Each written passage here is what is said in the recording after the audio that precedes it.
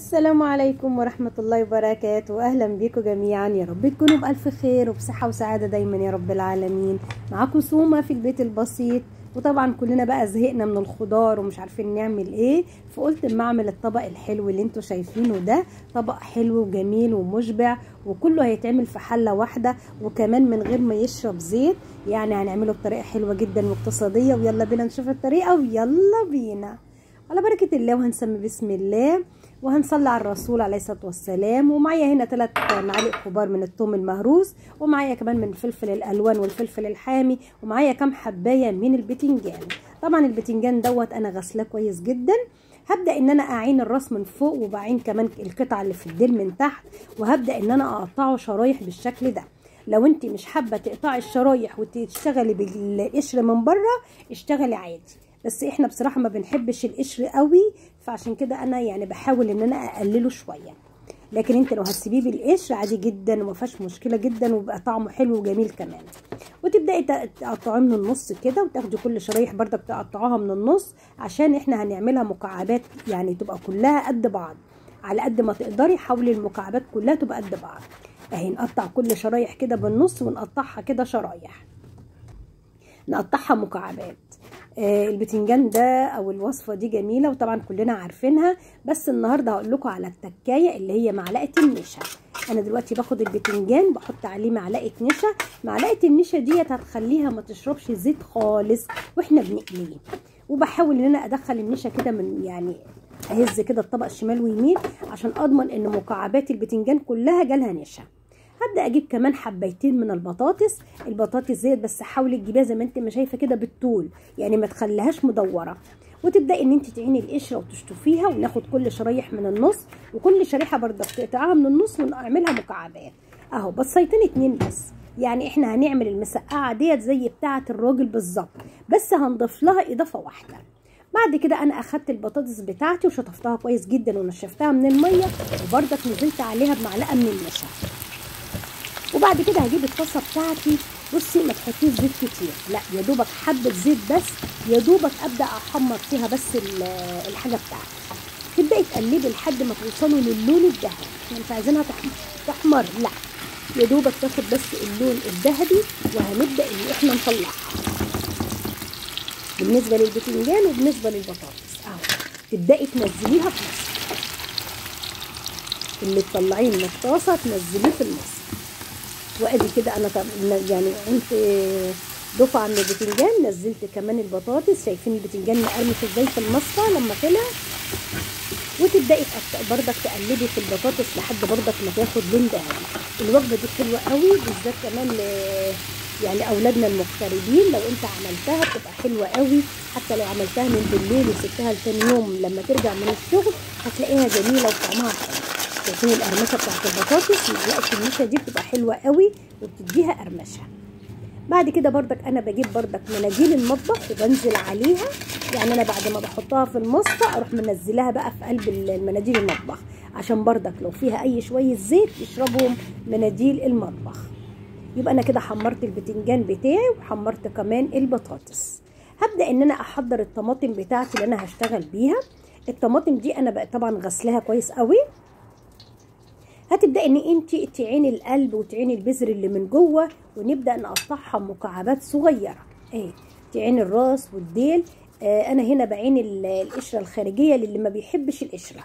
لكن اللي انت عايزة تسيبي القشرة وتشتغلي عادي عادي جدا سيبي القشرة. يعني أنا حب عملت حبيتين كده من غير قشر وبعدين كملت الباقي بالقشر كله عادي جدا. أهو. بس أهم حاجة إن إحنا ناخد القلب وما ناخدش القلب من جوه ولا البذور عشان أنا مش عايزة يبقى فيها مية. لأن أنا مش عايزة المسقعة بتاعتي تبقى زيطه كده ومليانة مية لأ. فعشان كده أنا باخد القلب كله على فكرة الطريقة دي طريقة المطاعم. المطاعم بتعمل الطماطم كده ما بتحطش الصلصة معصوره لأ. بتحط الطماطم كده مقطعة مكعبات. عشان كده بتطلع طعمة قوي عن اللي إحنا بنعملها في البيت. وتبدأي تعيني القلب كده وتعيني البذور طبعا القلب ده مش هنرميه إحنا هنعصره في الخلاط وبعد كده هنصفيه ونسيبه بقى نعمل بيه طماط آه مكرونة نعمل بيه أي حاجة. وبعد كده أنا هجيب حلة وهنزل دلوقتي بمعلقتين كبار ده الزيت اللي أنا قالية فيه البتنجان والبطاطس. يبقى الزيت ده مطرح البتنجان والبطاطس. هبدأ أحط معلقتين كبار وأدي دول الثلاث معالق الثوم المهروس. هبدأ أخد بس معلقتين اتنين دلوقتي أحمرهم وهسيب معلقة هحطها مش دلوقتي. ادي كده اخدت المعلقتين وحطيتهم في الزيت اللي أنا كنت قاليه فيه البطاطس والبتنجان. دول معلقتين اتنين بس من الزيت على معلقتين من الثوم المهروس وتبداي تقلبوا لحد ما ياخد معاكي اللون البني البامبا خليها اللون ذهبي أو بامبا ما تخليهاش تحمر عشان ما تمررش معاكم يا اول ما تلاقيها اخدت اللون الذهبي كده ننزل بمعلقتين كبار من الخل الابيض. طبعا الخل الابيض ده هيديها طعم حلو قوي وريحه طبعا جميلة. وبعد كده أنا معايا بصلاية وسط قطعتها بس مكعبات كبيرة شوية.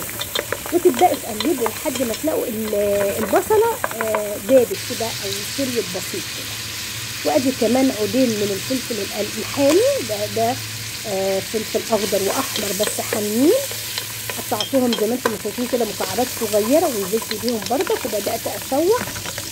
طبعا دوت بيدي طعم حرقان كده حلو وجميل للطبق بتاعنا. آه دلوقتي الخطوة دي بقى اختياري أنا عندي ربع كيلو من اللحمة نزلت بيه. آه لو مش عايزين تنزلوا باللحمة ما تنزلوش. وهيطلع الأكلة حلوة جدا وهتطلع جميلة جدا.